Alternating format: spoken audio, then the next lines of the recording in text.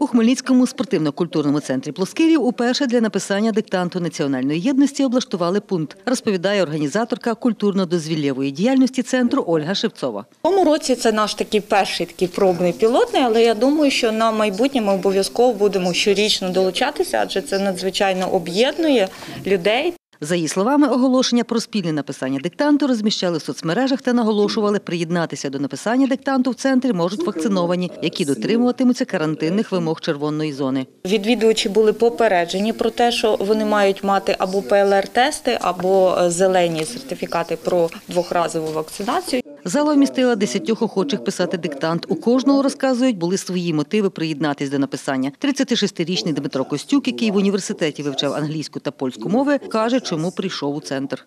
Гарно знаю українську мову, українською спі- спілкуюся, і ми в сім'ї спілкуємося, і був студентами, спілкувалися чисто українською літературною мовою. Студентам знову хочеться себе відчути. Анна Стеценко говорить, більше на вулицях Хмельницького чує російську, аніж українську. Мені здається, що, що потрібно себе вдосконалювати і вивчати, і якось просто спілкуватися українською, бо її дуже мало зараз. В цьому році я планую написати дуже добре.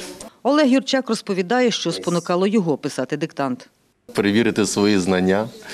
Ну і чому би ні? Українською мовою літературною це дуже приємно і дуже милозвучно. перед світанковими годинами до парку починали заходити невеликі групи мисливців. Автор тексту диктанту, письменник, кандидат філологічних наук Юрій Андрухович називає свій твір складним для написання. Я думаю, що він доволі важкий. Я не мав би шансів е, написати його е, без помилок, якби сам не був його автором. Е, Я навмисне укладав цей текст так, що ну, загалом четвірка це був би мій такий результат. Не дуже він такий складний, як ми писали, припустимо, в, на ін'язі, але трохи дуже швидко він диктував.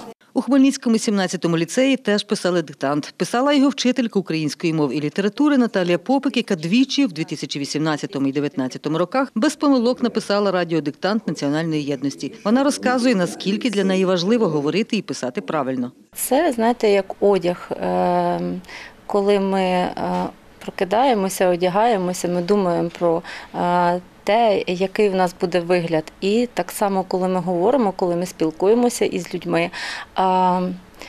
Ми, е, наша мова це наша душа, це внутрішній стан людини.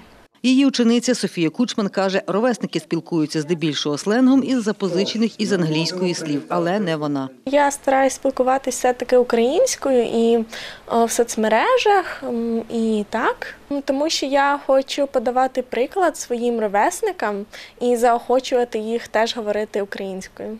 Перевірити свої знання українською можна буде 11 листопада об 11 годині самостійно або надіславши свій диктант паперовим листом на адресу місто Київ, Хрещатик 26, або сфотографувати чи зробити скан і надіслати на електронну адресу Українського радіо. Світлана Поробок, Віктор Кривий. Новини на Суспільному. Хмельницький.